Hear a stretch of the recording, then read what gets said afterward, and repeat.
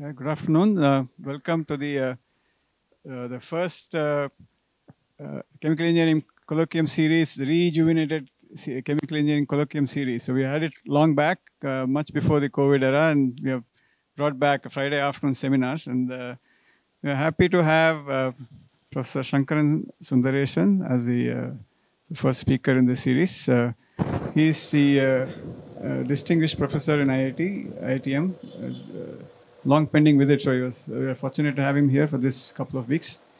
Uh, Professor Sundaresan is currently uh, Norman John Sollenberger Professor in Engineering in the Department of uh, Chemical and Biological Engineering.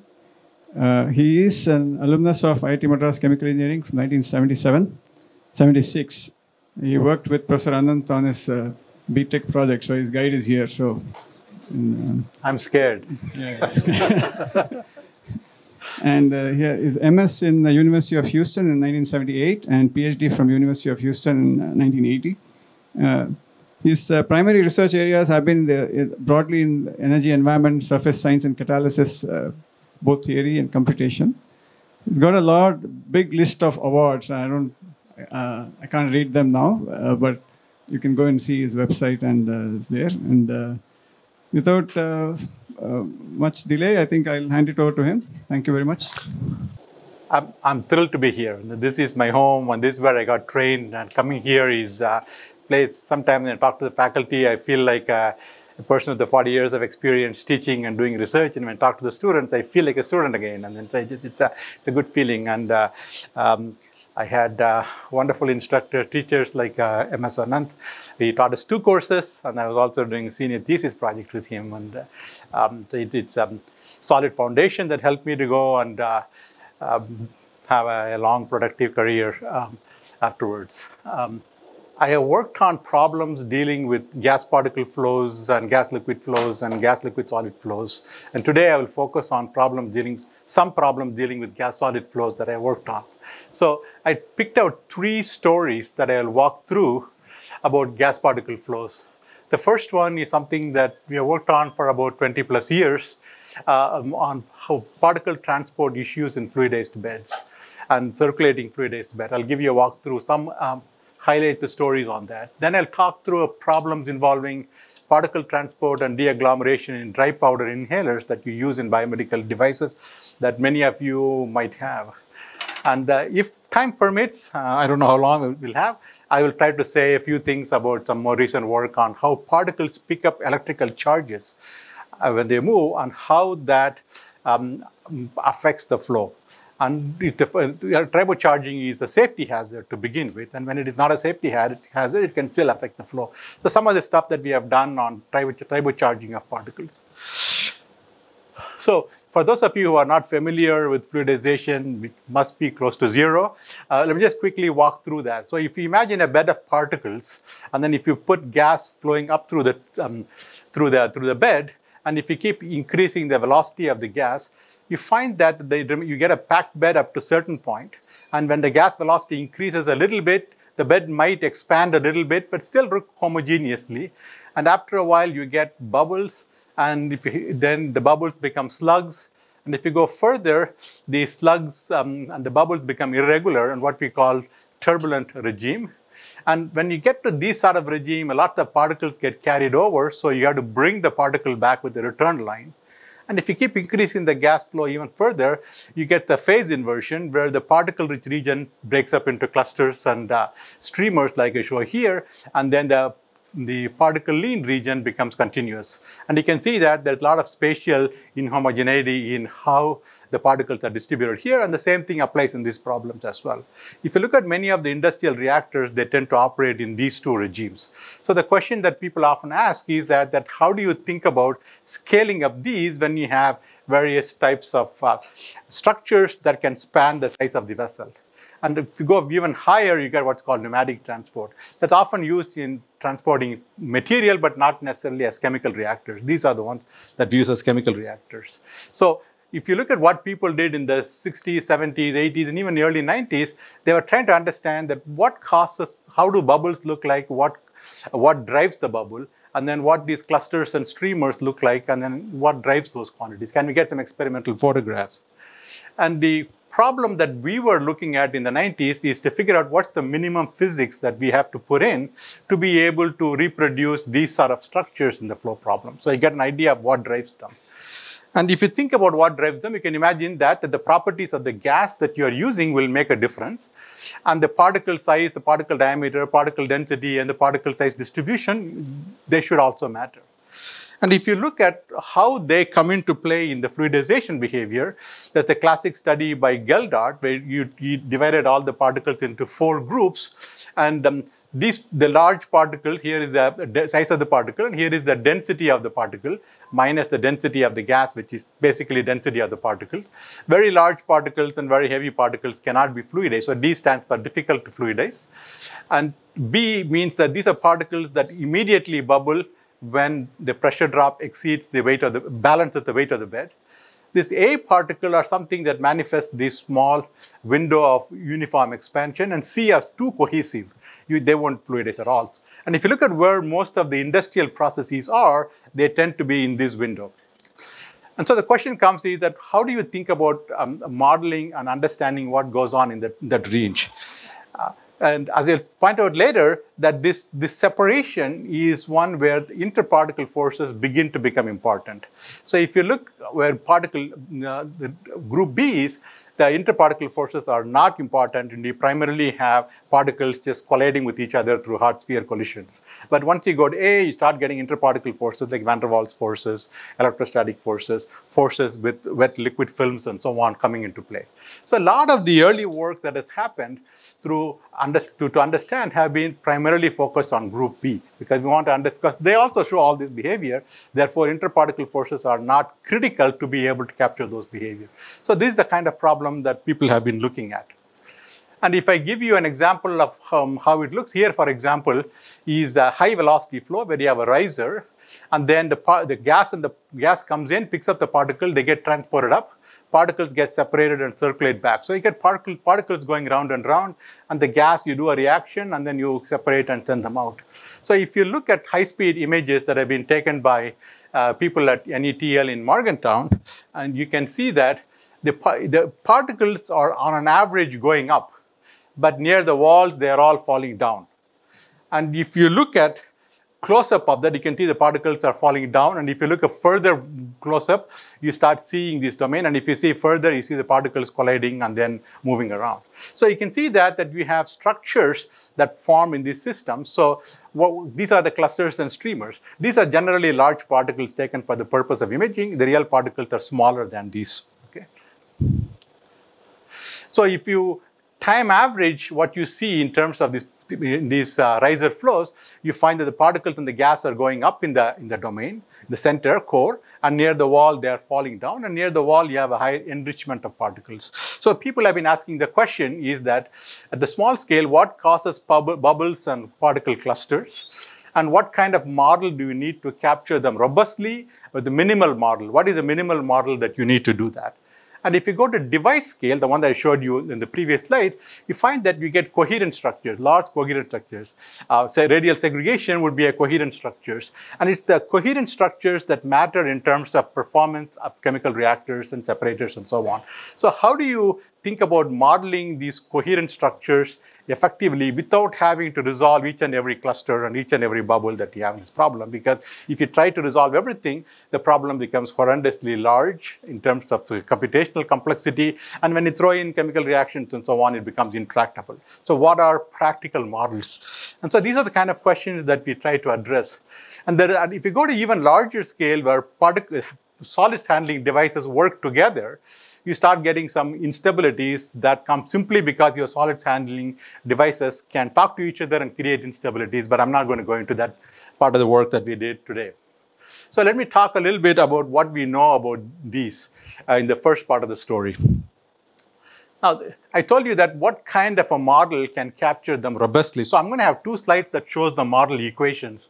So if you, uh, if you think about how to analyze these problems, the common way is to think in terms of some continuum models where if you have a just plain cold flow with no reactions and so on, you can write a mass balance for the particle phase and a mass balance for the fluid phase. So you get V sub S is the volume fraction of particles and U sub S is some local average velocity of the particles. And um, Similarly, phi sub g is the volume fraction of the gas, and u sub g is the local volume average velocity of the particles. These are kind of, it simply says that I'm conserving mass for the both phases. And if you look at the momentum balances, you have inertial terms that appear on both sides, just similar to Navier-Stokes equation. Then you get gravitational terms that appear on the right-hand side. But because these two fluid, these two phases are flowing together, they exert force on each other, equal and opposite force is being exerted on each other. And then there is a stress that is transmitted because particles are talking to each other through collisions and enduring contact in the particle phase balance.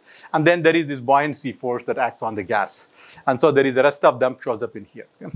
And if you look at the minimal problem like that, because the density of the gas is so much higher than the density of the particles, you find that the inertia is completely in the gas phase, in the particle phase for these systems. So in those cases, what you find is that the, the stress that I have put in here is primarily the gas pressure. So what it means is that, that the two quantities that we really don't know are what to put for this F and what to put for the stress. So all our ignorances are built into those systems. So the question comes is that what is the minimum model that we need to consider to be able to capture them? Because that allows us to separate what is required versus what are details to get quantitative accuracy. And if you look at gas particle flows, this, this, this inter, interaction force is primarily drag force. And if you look at if you look at how drag force um, look like, okay, I'll come back to that in the next slide, is it's so what is important in that? So if you talk about a steady state problem, you find out that all these terms are not there and all these three terms go to zero. Simply drag balances the weight of the particle. That's a simple undergraduate fluidization experiment that you would have done in your courses before. When you have a dynamics, this term becomes important.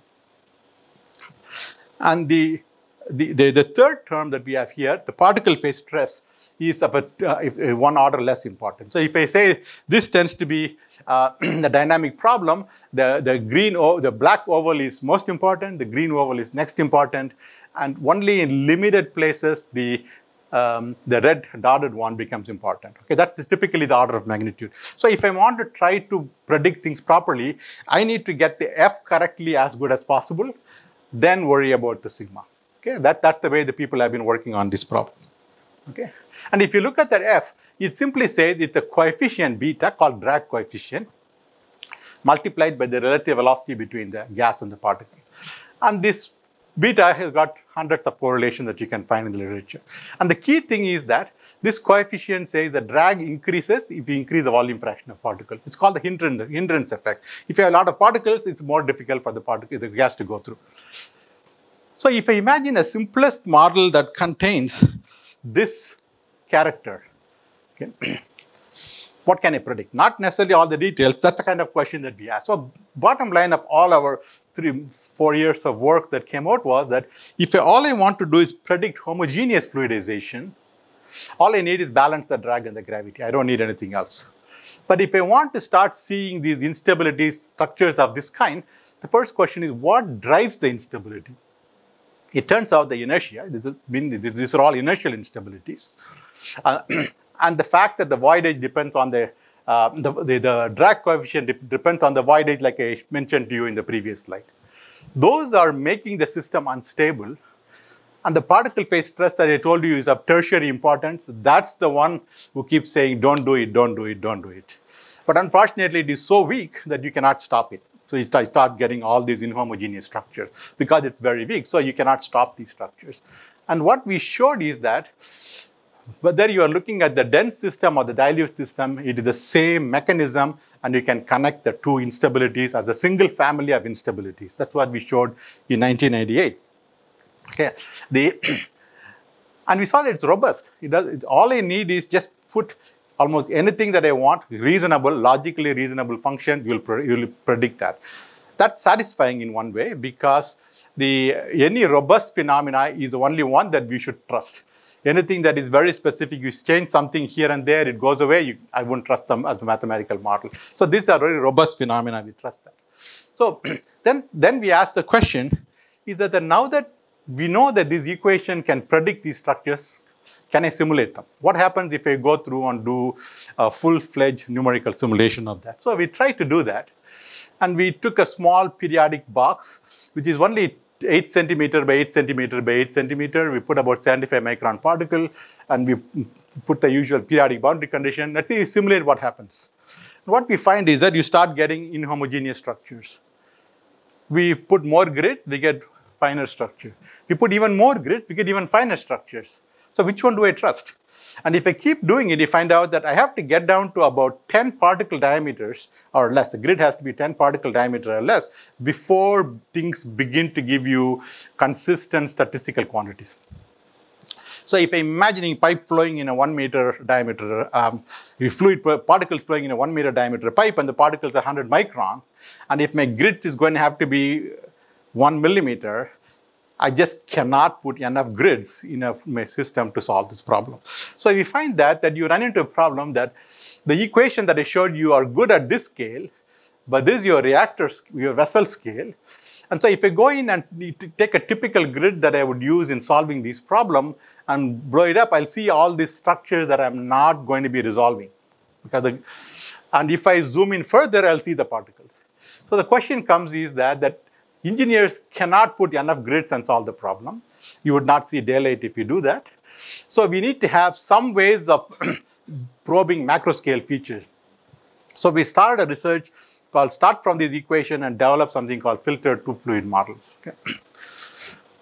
And um, normally I don't talk much about what we have done, what we are known for, but this is my home, so I can afford to tell you that my group is most known for having developed these types of models which are used widely in industry.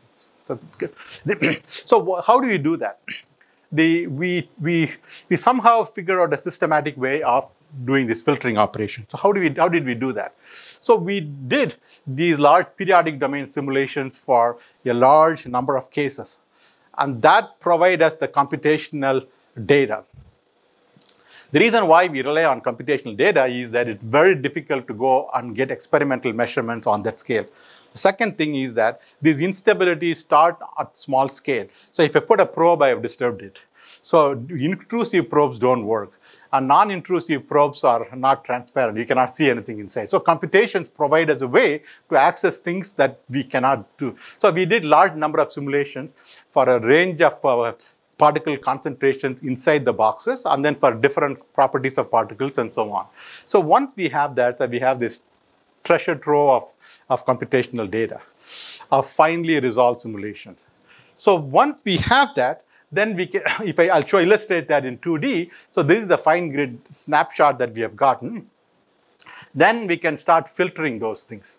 So we can filter them and then try to get these, what happens if I get filters of different sizes and then how do I get the filtered information. So if you take those models I wrote and then do the filtering, I'll start getting a number of covariances for which that I have to develop models for. So that's what we worked on developing. And so the so the that will give us some idea of how to correct for that. So so if, if I when you if, if I solve a filtered equation and let's say I'm having a grid of this size, I'm not going to see anything underneath that. So that is going to tell me that, oh, everything is uniform. Because that's, I'm not resolving anything smaller than that. And if I say everything is uniform, and if the gas, the particle have, the gas has to go relative to the particles, it will experience a certain drag force. But in reality, there is a lot of bypassing path. The gas is not going to contact the particles that much. And so it's going to experience a lot less interparticle forces, inter, interface forces, less drag. And so we end up overestimating the drag. And that turns out to be the biggest problem that you have to correct for. I'll illustrate through one example later.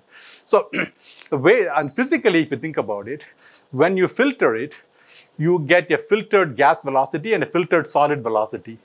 But the filtered gas velocity here is different than the average gas velocity seen by the particles. Imagine in a box, all the particles are here and the gas is going here. That gas particle is not seeing that. So what is seen by the particle is different than what is the actual average gas velocity. And that difference is now called drift velocity. So if you can estimate the drift velocity, then we know how to correct for the drag. So the question then is that how do you model the drift velocity? And that took us about 10 years worth of work. And, and we used first simple-minded thinking, like, well, you know, it has to depend upon the filter size, you know, it has to depend upon how much particles there are, you know, what the relative velocity. So the common sense things that you can you consider, and then we can fit them.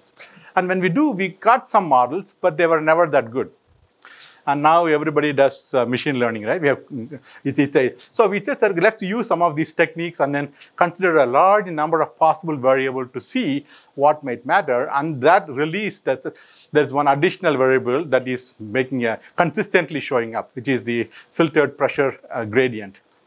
Intuitively, there is no basis for me to think about why it would matter, but the, the machine learning analysis kept telling me it matters. So we spent a lot of time trying to figure out how to fundamentally explain where that is coming from. So at the end, we managed to develop a model, and that is what my PhD student um, Yundi Jiang did, and it got published in the last two years. And so we developed these models for that.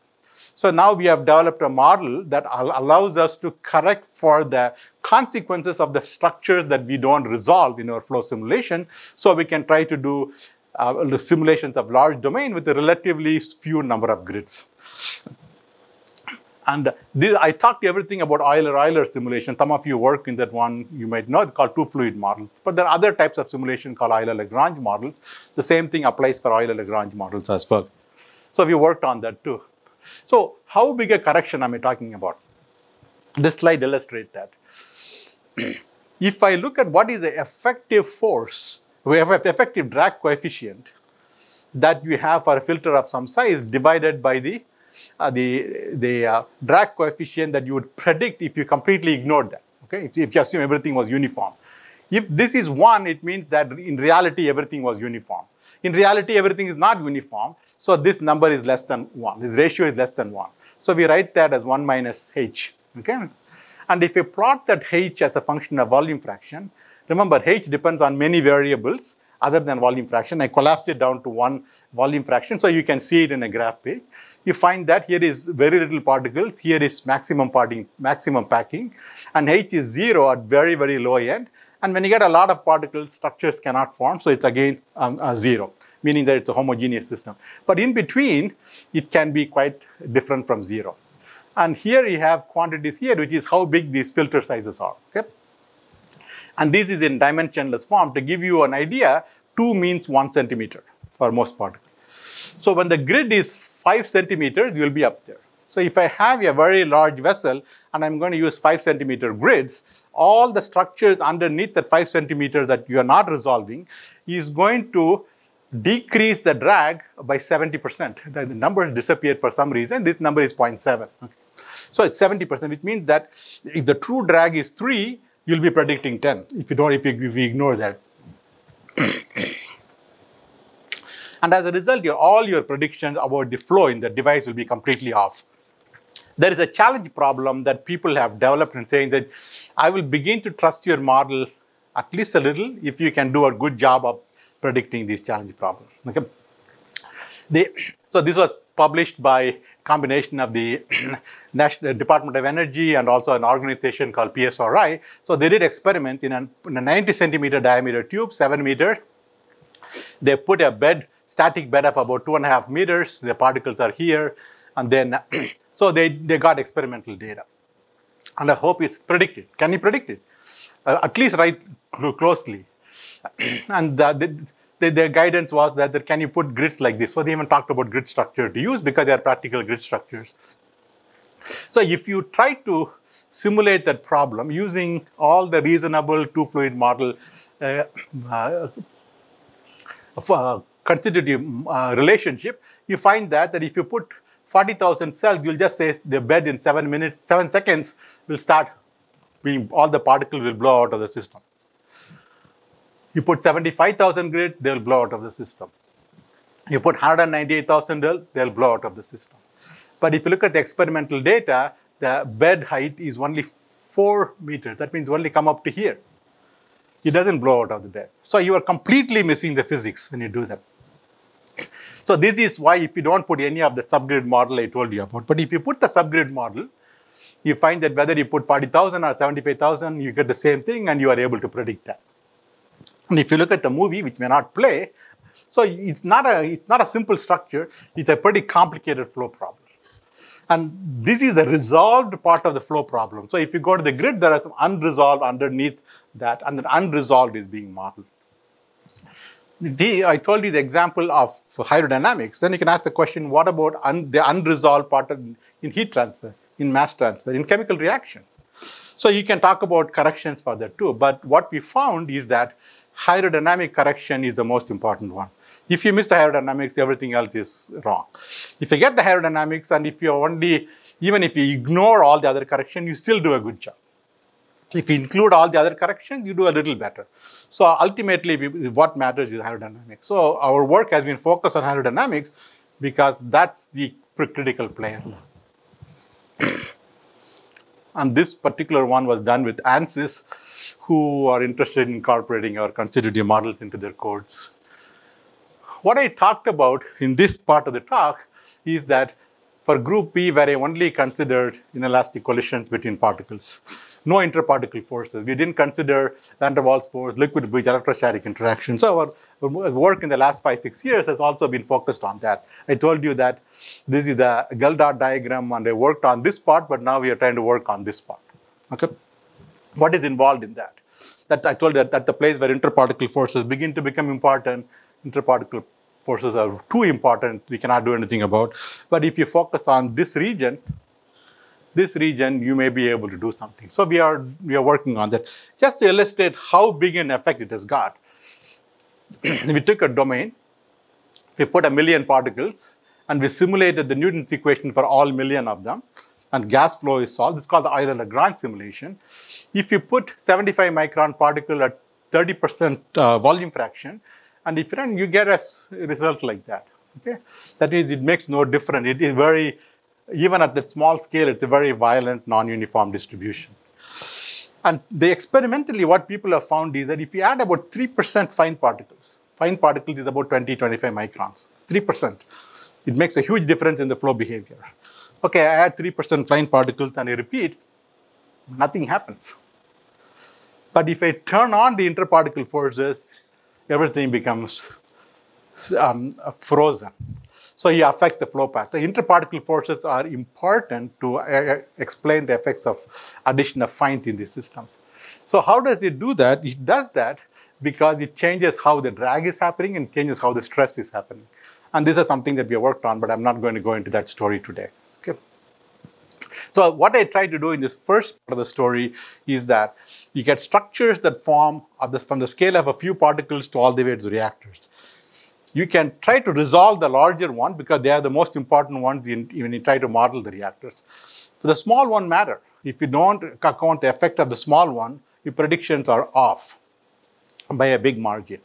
So how do you correct for the one that you are not resolving the, is the, is the crux of the game. How many of you have heard of large eddy simulations in turbulence? So some of you have heard of large eddy simulations the same idea that they are doing. You know, for the for the for the stresses they are correcting for the part that you are not resolving.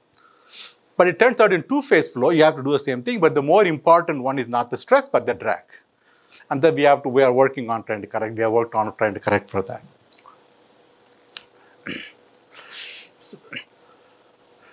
So for the for illustrating the effect of interparticle forces, I'll tell a different story. Okay. Any questions on the first part of the story? Okay, it's a different story. In this story, the dry powder inhalers, uh, in this case, the van der Waals forces become very important, and it affects the behavior of the, the performance device of the device. So we have done some work on simulations. The simulation try to understand how uh, these uh, deagglomeration take place. So let me explain that in dry powder inhalers, you have an inhaler in which the particles are, are being ejected when you press them, and it goes through your mouth, throat, trachea, and then it goes to the lungs. Okay, and the go hope is that that you will deposit fine particles of the active pharmaceutical ingredient as uniformly as you can in the lung. okay, that's the that's the purpose. And this is widely used in pulmonary infection, COPD, and so on. And more and more drugs are being discovered that are not water soluble, and so they're very difficult to deliver. So they're making as fine powders, and there is a great deal of effort to see how many of them can be delivered in this manner. And so there is a quite a bit of drug development work that goes on here. But if you if you look at what can happen when you inhale it, the particles can get trapped at any of these points. So if you want it to escape the mouth, throat, and the trachea region, get here, the particles have to be less than 5 micron, preferably 1 or 2 micron. if it is much smaller than 1 micron, they'll go in and come right back. You don't want them either. So you don't want it to be too small. You want to be in the 1 to 2 micron range. so the, if you have larger particles, they will just deposit in the mouth throat region. so if I take these small particles and if I try to deliver it, they are very sticky. They will even in your in your packaging they'll agglomerate. They'll give you very big clusters. that means they're no longer one micron particles. They are 50 micron particles. So how do you deliver them?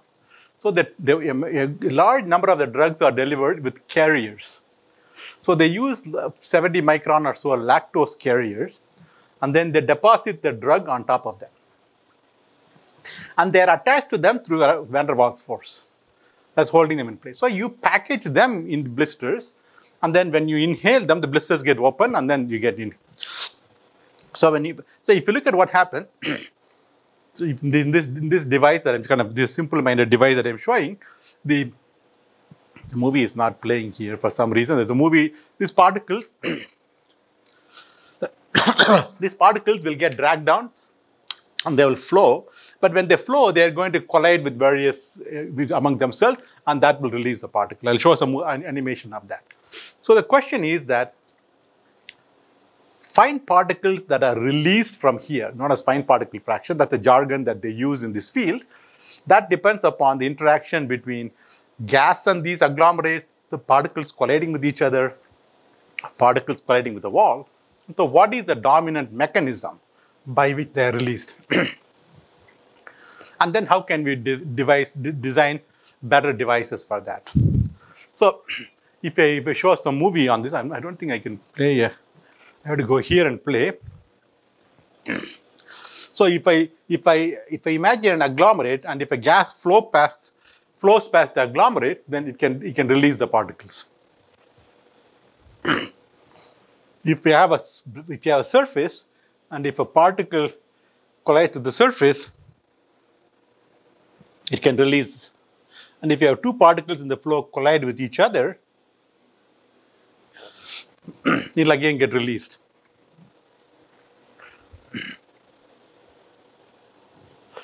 There are the three mechanisms that you're relying on to release the particles. In the inhaler, if you put it here, you've done it, you want all of that to happen within that 0.2 seconds, and then go in. That, that's the hope. So if you look at what's available, I told you about these diseases, there are a large number of these inhalers available. So on what basis do we design them and what basis do we judge them? So the, in the US, the Food and Drug Administration was interested in, in developing a computational tool to, to help them simulate and understand how these devices perform because they have to approve them. so they gave us some money and they said that you know in reality the inhalation profile of patients. So if you look at this, how much velocity with which you inhale versus time for people with different diseases. There are some standard um, uh, inhalation profiles for people with different types of diseases. The room is really dry for my throat, sorry. So we asked the question that how are these agglomerated fluidized and transported? How does the inhalation profile affects deagglomeration? What are the dominant deagglomeration pathways, how can one improve inhalation device. This is what people are working on this field are interested in. And our, whole, our goal was how can simulations help? and we eventually we gave our simulation to FDA. They are using it in their, uh, in their, uh, their own work. so again, if I, if I remind you, this is a diagram I showed you before. You have an inhaler and then it's going to go. And we are asking the question, where does deagglomeration take place? So that's going to take place in the device. It's going to take place in the mouth throat region. But once it goes in here, all the carrier particles are all deposited in your mouth. Only the API particles will go here. You don't want the carrier to go there because then you'll get problems because they're too big. So if you want to study how the flow occurs here, you use a different tool. There are some tools called digital twins that people have developed about how to do this. And, but what happens here is something what we are looking at. So we are looking at the deagglomeration process here and here. So let me show you some results on that. So we took one commercial uh, device called Ellipta and then tried to look at what happens in these, um, in these systems. So you can go to the web and then you can see pictures of Ellipta inside. We got a, we got a sample of Ellipta to see how big a device we're talking about.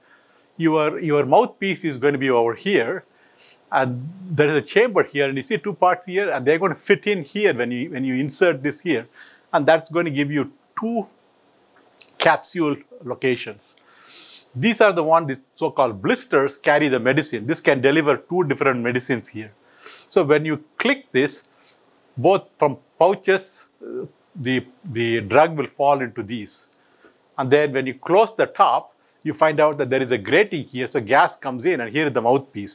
So when you suck the air, when you inhale from here, air has to come in from the top and then work their way here. And the air is going to pick up these uh, agglomerates and then they're going to flow.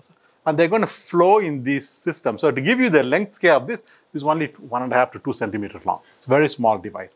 And the question is that, that how does how do things work here? And how can you improve the device the device geometry? Okay. and if you, if you look at the, the, the common drug that's called Anoro, it delivers two drugs, formulation A and B, and each pouch contains about 12 and a half milligrams of uh, dose. And if you look at the active ingredients, that is 62 micrograms and 25 micrograms, there is only 0.5% is APA, API. Everything else is lactose particles. if you look at that, this one is even smaller, 0.2% is, is API, everything else is lactose particles. So you are trying to make sure that, that this small amount of uh, stuff that is sticking to the surface of the carrier particle will get detached and they will be delivered to you. And if you look at the commercial devices, none of them are any good in delivering more than 30%. So 70% of the drug that you put in just goes and gets deposited somewhere within your mouth throat region.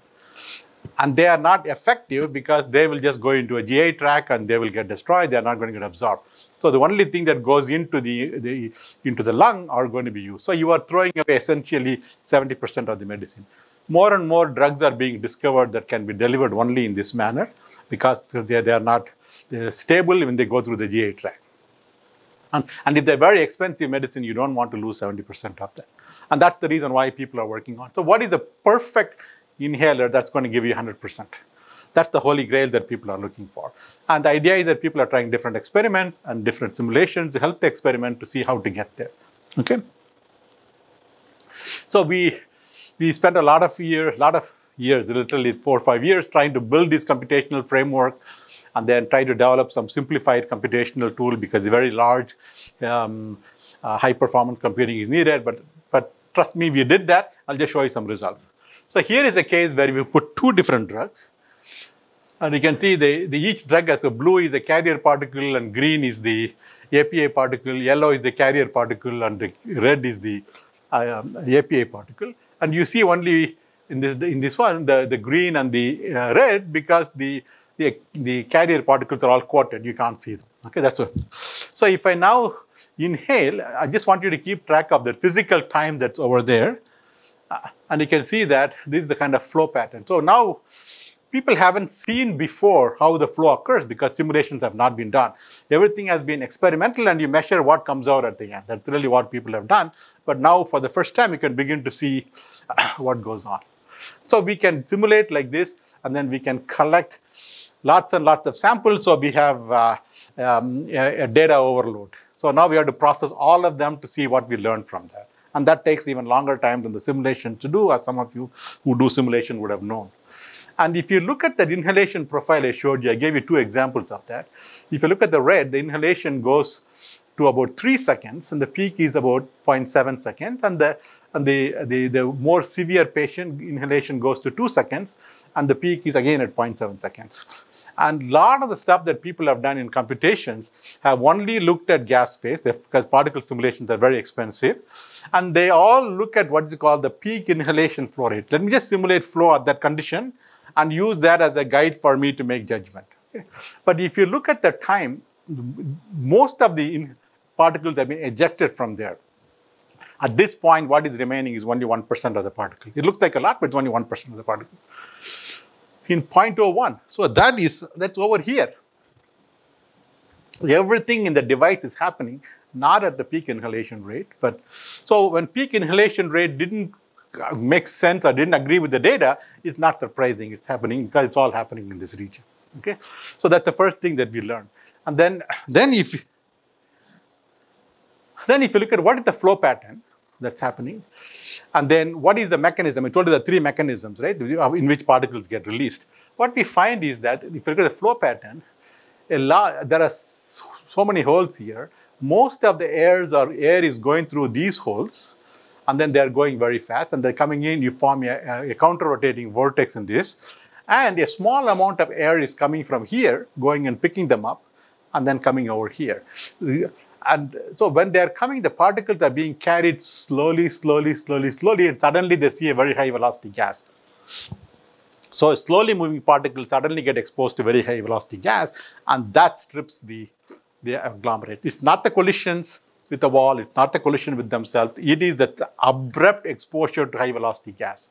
So your goal then is to try to see how can I make device modification to try to increase the, um, the uh, the, the relative velocity that suddenly gets exposed to that. So we then came up with the argument, he said that, what if I say that I'm not going to make all these seven holes available to me immediately. I'm going to close these three holes magically, initially, and at some point I'm going to say open, sesame, and they'll open. Okay? So uh, the, the delay time I'm going to give is about 0.05 seconds. It means that air here would have picked up a certain velocity. So when these particles come, the air is going to be even faster. And when you do that, you find that instead of 37% being released, you can release 51%. Just to illustrate that when you get these, these type of results, you have some experiments that you can do to try to understand them. and you can keep playing more, more but I'm not in the business, but I'm just showing you that I'm doing this. So, so we illustrate these white papers, and if companies want to pick up and run with that, that's for them. Okay. But releasing everything here is not the full story. You need to see what happens as it goes through the mouth and throat, and that's what we then started looking at it. And so we only, there are uh, examples of these pathway through the mouth, the throat, and then the, the trachea, and then the different branches that people have published. So we can get CAD files of those flow geometries. And now we have even files available for people with all kinds of different diseases. And so the, the device geometries, I mean, the simulation domains are available for this system. So we focus mainly over here, not the proportion here, because that is where you need all these carrier particles and everything um, that to be considered. So we did simulation, where here is my ellipta, and then here is my mouth, here throat, and then up to this part. Okay, so we did simulation. And if you do a simulations, here we only filled one blisters because these are, these are expensive calculations. You can see suddenly they'll speed up when it comes there. And then, then we look at what, what happens as it goes through. And then we generate the, uh, the particles are getting released and particles are getting deposited. And then we generate the data set. This, for the, this is the first time in the literature, or again, even in companies, anyone has got this kind of a data available to interrogate what is happening in these flow problems. So, uh, So the, the, the blue here is blue here are the API particles they are going through. And so we can we can look at where they are depositing and where they are flowing and stuff like that. So again, you get a huge amount of data that comes in. And then, then if you look at that, then you can ask the question that can, can tell me what happened in this region, what happened in this region. So you can analyze the behavior in each region as a function of time and then try to learn something from that. So what we want, I'll tell you one example of that if you look at the three types of inhalation profile, if you take the very, um, if you take the moderate asthma case, a black one, you got about 40, 37% released when it came out of the inhaler. But as it goes through the mouth, they're getting further released. Why? Because the, um, uh, the mixture of the particles and the air are coming through the mouthpiece. And the moment they come to the mouth, there is an expansion of the cross section. So gas slows down, the particles don't. So suddenly you see another increase in relative velocity. So that allows the particles to, um, to undergo more deagglomeration. But then you find that it decreases because when you have a high velocity, you have a high turbulence. And the turbulence is going and pushing the API particles to the wall and you're losing them. And then eventually when it comes around, you find that it has come back here. In fact, the moderate asthma guy had, had a worse um, um, uh, final, worse fraction, FPF fraction going through your, your lung, lung channel than the person with the severe asthma. Okay?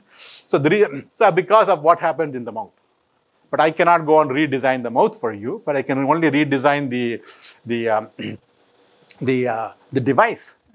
So how can I redevise the device? Is that that even though I can have a very high breathing rate, I don't need the breathing rate. Can I have it in a way in my device after the first bit of taken, suddenly the resistance of the device goes up. So you can't breathe that fast. Okay then it becomes more difficult. You, even, even, I can, even if I can breathe faster, I'm forced to breathe only slowly. So that these turbulent losses can be minimized. So these are the kinds of questions that one can ask to see how do you modify the device design to do a better job in the device and also in the loss, minimize the losses in the mouth throat region. And this is an active area of research that's happening. And this is uh, our group was the first of this kind to do this type of simulation to show that you can get insight into these problems. And so the, the critical regions are one is over here and one is over at this part. And so what is happening, how they're depositing is something that we're still working on. The postdoc is trying to collect some more data. The, the general belief is that, that the person with the better inhalation profile will do a better job, but what we're showing that's not always true. We can explain why it's not always true. And so we are talking about design modification, and we, we illustrated some design other people can do more, more later. So how am I doing for time? Did we start early? We can go on? Okay. Um, so the third story I want to say, this is very special to me because something I've, i have been working on and, um, and I'll tell you some story about that. So particles pick up charges. Huh? Now here, it's humid all the time. So when you come in and touch the door, you don't get a shock, right? But in the, in the USA, when we go to the office in the winter time, if I go touch the door, I get a shock because I would, have, I would have put on my coat, I would have tucked my, I would have touched my car steering wheel. So I often tell my wife that that's how I'm going to die one day because I'm going to get a shock and I'm going to die one day.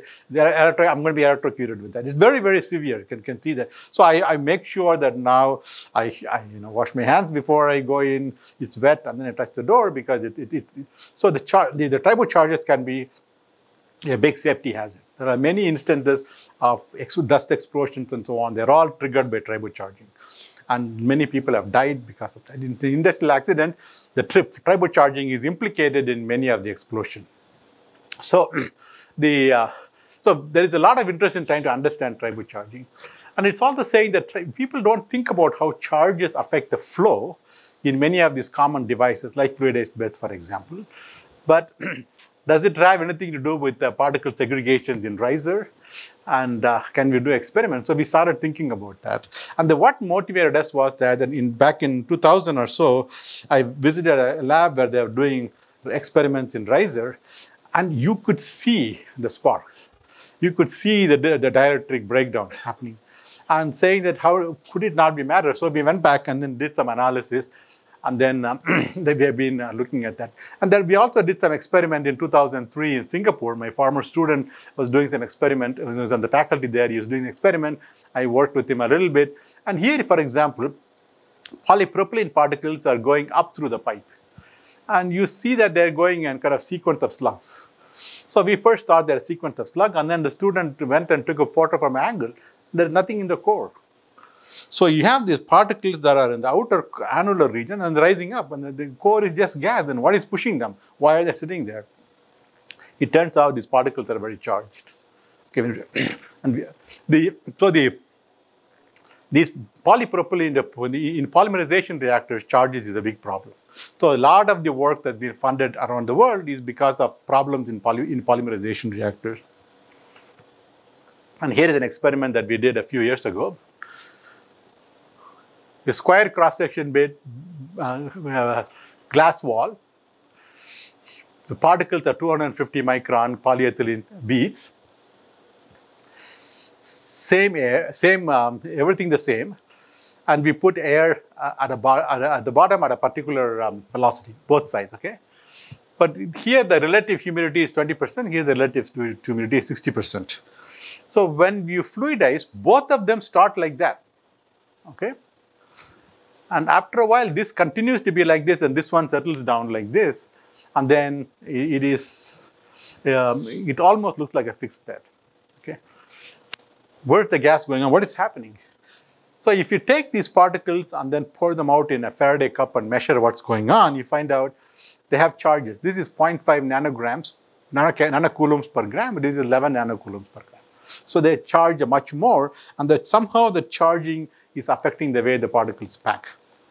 So how important are charging and how does it affect the flow is something that we have been, um, we have been thinking about. These experiments were done in 2017, but people have known that charge, particles acquire charge going back to the 1960s. So we did not discover that the particle acquires charge. So because people new particles acquire charges, whether it is silica alumina particle or polymer particle or glass bead, it doesn't matter, they acquire charges.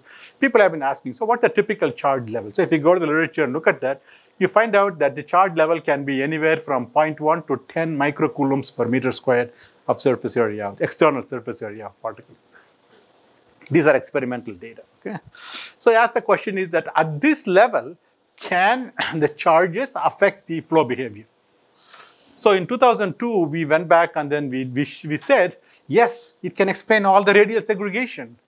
Okay, I went to, we went and present the paper and everybody said, blah, I don't believe you. So it's all aerodynamics, so don't waste your time on that. So we said, okay, fine, if nobody wants to believe me, I'll stop and then we didn't do anything on it for 15 years. Then we developed all the aerodynamic models that I showed you in the first part of the talk, and then we were able to get the fluidized bed behavior correctly. But when we went to the riser, we couldn't predict the, the, the segregation properly. Then we are back to square one. I have no explanation. So then they said that no, you have to come back to this. This is what it is. So now I, I, believe that this is responsible for the radial segregation that happens in the riser because I already showed we, we already showed that it happens. And I had a very, very good master student who came from Saudi Aramco. He's now the CEO of Saudi Aramco Ventures. Um, so, it's, uh, so I was fortunate to have some really smart people come and address this problem at that time. So what he did was that, that if you have a flow and if a particle is charged, the particles generate an electric field. You can solve the Poisson's equation and calculate the electric field, and that electric field pushes the particle to the wall. You can show that. So that, and, and that is commensurate with the kind of segregation that people are seeing experimentally. So what we came now recently is that how do you, who is going to give you the charge? And if you change the gas, what's going to happen? So we have to develop some model to describe the charging of particles, even if it is only hand waving, phenomenological or empirical model, doesn't matter. But we have to develop a model for that. And people have known that, that if you take nitrogen and argon, for example, particles acquire a lot less charge in argon than in nitrogen. Can we use that to help us develop the model okay? and learn something from that? That's what we did. So my student, Xiaoyu Liu, who graduated recently, he, he just did simple experiments. He took square containers, filled them with different amounts of particles, different walls and different uh, particles, and then we put them on a vibrator bed and just took them for a while, took them for a long time, particles acquired charge. Then you put them on a Faraday cup and measure the charge. And then he did simulations to match, to complement that. So if, I, if, I, if you propose a charging model, and then can you, can, can your simulation reproduce what you saw experimentally? So this is kind of a, a, a two-pronged approach he did. And if you look at some of his experimental data, when the, when the experiments were done in nitrogen, what he's plotting here is the surface area of all the particles. Simply think of how much mass we loaded in the, the container, the more particles we put in, the more surface area, okay? And how much is the total mass that I'm measuring in the Faraday cup? So naturally, you put more particle, you measure more charge, okay? So, so if you put it in nitrogen, we are, we are measuring charges like that. You put it in argon, you measure a lot less charge. Why? How do you, how do you capture that? And we did that for a different combination. I'm just showing you only one combination here. So if you look at what was there in the literature over the last 50 years, if two particles come together, let's say they're different in nature, charges will flow from one to the other. The, that is true for metals, that people have known that for almost 100 years. But when you take insulating particles, the concept is very vague because they don't conduct electrons. So how do you do that?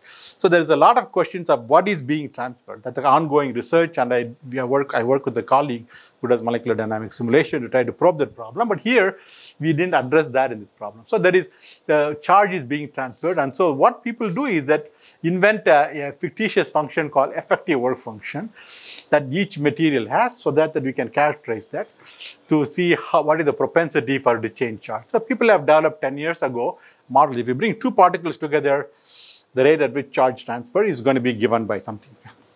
And even before that, people have discussed something called charge relaxation. So particles come together, they charge, but they want to come apart, some charge goes back. That's the relaxation. And that depends upon the surface characteristics. That's also there. So you, we can build models based on those two. But that wouldn't explain why things are different in nitrogen and argon. So what is different in nitrogen? So the the nitrogen and argon is that, that we have to account for the dielectric breakdown of the gas.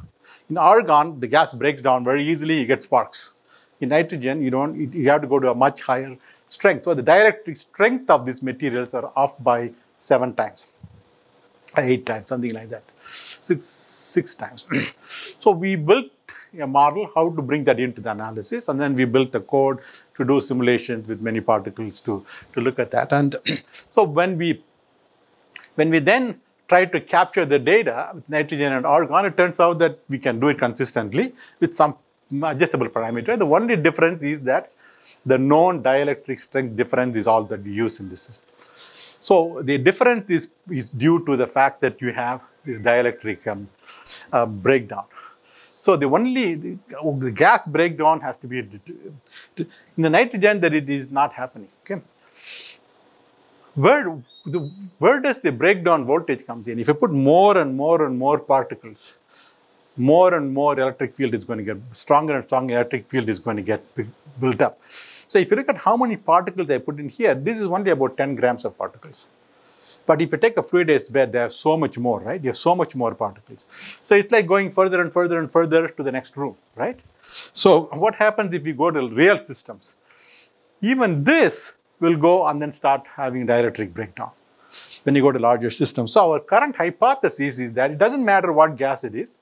If you real large system, the amount of charge that we have in the system is at the critical conditions of limiting dielectric breakdown happening. That and once you make that hypothesis, you can estimate what the charge is of particle in the, in the, in the back of the envelope calculation. Because otherwise I wouldn't know. So our hypothesis is that, that the extent to which particle charge is dictated by the dielectric breakdown. Doesn't matter what gas you are using, um, hydrogen or methane or, or light gas oil, this is what is dictating this problem. But that's how somebody has got to prove that. The other thing is that other thing is that what people have known is that the bed be, that behaves one way in one atmosphere, but slightly differently at by five atmosphere in many many systems. There is no good explanation for that, because the change in gas density is so small compared to the density of the solid. Why would that matter? But what happens is when you go from one atmosphere to five atmosphere, you literally increase the breakdown strength by five times which means the particles can now hold much larger charge. That means that can come and affect the flow in a much larger way. And that's what's happening in the system. So we have shown that the effect of pressure can be explained through this. So these are stuff that needs to be done to explain. So, that, so we think that dielectric breakdown is not only a safety hazard, but it actually has an impact in real systems in many flow problems. And uh, I'll close by saying that not everybody believes me. So it is still a controversial thing, and it's something that people are going to have to work out. So let me conclude by saying that I gave you three examples. The first one I talked about is particle transport in circulating beds. And the, the key thing is that you have multi, multi-scale structure, inherent instabilities at various scales, and so on. Our contribution has been developing practical models for that. the second example dealt with inhalers. Our contribution has been to understand the mechanism by which the deagglomeration takes place and some ways of asking questions about how to modify the inhaler design to achieve what we want. The third one is tribocharging of particles. We showed that, that it actually affects the flow, and we showed that the dielectric breakdown is very important if you want to be able to capture that. In fact, you can use it as a criteria to determine how much charges are there. Okay? And um, the, uh, so in that sense, this can, we can also assess the safety risks of those systems, and we can also assess how, if, whether or not they're going to affect the flow problem. So with that, I will stop. And um, yeah, I worked with lots of students, lots of colleagues, uh, people from funding agencies.